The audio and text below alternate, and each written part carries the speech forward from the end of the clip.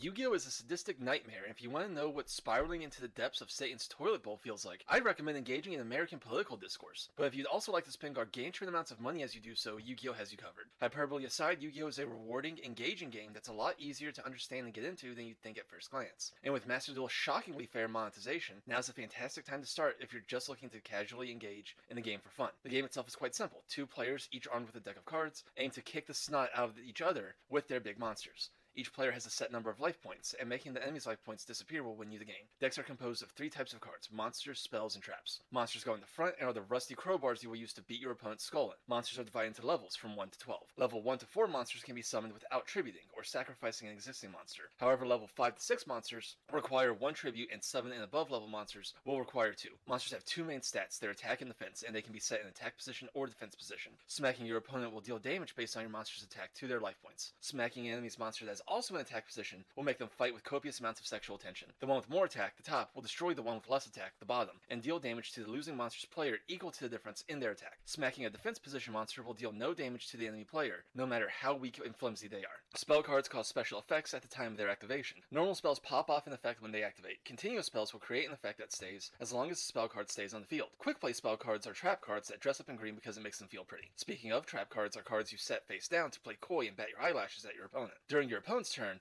if they do something that triggers the trap, you can activate it, causing an effect that triggers during your opponent's turn. Generally speaking, your monsters will do battle with your opponent's monsters. Your spells will support them and barrage your enemy with effects, and your traps will disrupt your enemy's plans during their turn. Congratulations! You're now a moderate knowledgeable Yu-Gi-Oh player 20 years ago. But don't worry, catching up 20 years will only take a few minutes. Turns typically have several phases draw phase, standby phase, main phase 1, battle phase, main phase 2, and end phase. That's a lot of phases. They're not all that complicated. Draw phase is when you draw a card at the very start of your turn. Holy shit, who would have thought? The standby phase is just a step in time when some effects take place at the start of the turn. After you draw, but before you can do anything in main phase. If an effect says you can special summon this monster, but destroy it during your next turn standby phase, then during your next turn, this phase is when that effect triggers. If no effect is set to trigger during the next standby phase, then it just passes by. Your main phase is when most of the action happens. You can normal summon or tribute summon one monster, special summon as many monsters as you want, activate spells, and set traps here. Next comes battle phase, where you're allowed to smack up people that disagree with you about children's television shows. The very first turn of the duel has no battle phase because that would be wildly unfair. This is the only time Yu-Gi-Oh! will ever stop something from happening because it'd be unfair. Main phase 2 is just like the first one except after battle phase, letting you recover if traps or other effects tripped you up in battle phase. Finally, end phase is just like standby phase, a part of the turn that lets effects trigger at the end of a turn instead of the start. When you take your turn, you'll take each of these phases in turn, then your opponent will do the same until your character arcs resolve and you go from enemies to lovers, like every AO3 author always wanted. In modern Yu-Gi-Oh! most decks are of one of two types, beat stick decks or disruption decks. Beat stick decks are all about getting out the biggest, strongest monster possible, with as many protections as possible, and violently violating your opponent with it. Disruption decks aren't as able to get out strong monsters, but with special effects they can stuff their opponent's ability to do fucking anything, letting them win with less firepower. There are a variety of other decks, like burn decks that deal damage directly to the opponent, bypassing battle with effects that deal damage. Exodia decks are all about drawing as fast as a fairy artist commission 5 grand to make God cry and trigger Exodia's insta win. Or stall decks that can't win, but also can't lose and can cycle cards infinitely until the enemy quits or runs out of cards.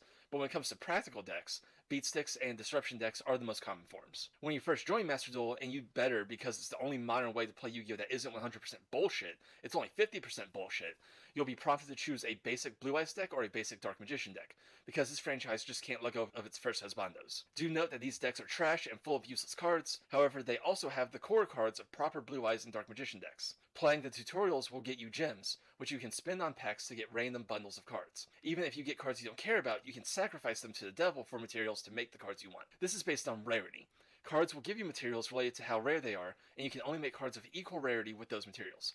It's a good idea to save up and spend gems in bundles of 1000, as this guarantees super rare and ultra rare cards, the rarest kinds. Gems can also be spent on structured decks, pre made decks that are actually like 90% of the way there to being a viable deck. If you happen to want to use an archetype that has a structured deck available, congratulations! This is all a lot easier. Choose the Scaly Fetishist deck or the Twink deck, play the tutorial, spend your gems, and break down cards you don't want. Then craft cards you do want. Dark Magician has a structured deck, and while Blue Eyes doesn't, Dragon Maid does, and Dragon Maid works very well with Blue Eyes decks as supporting cards.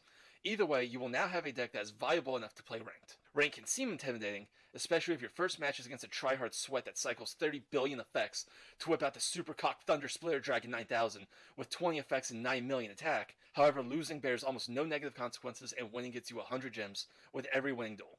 Completing challenges like summoning five monsters or going out and talking to a girl will reward extra gems, making it vastly easier to enhance your deck and branch out and create more. And there you have it. This is everything you need to know to get started with Yu Gi Oh! Go out there, have fun, fucking whatever, do whatever you want. I'm not your dad.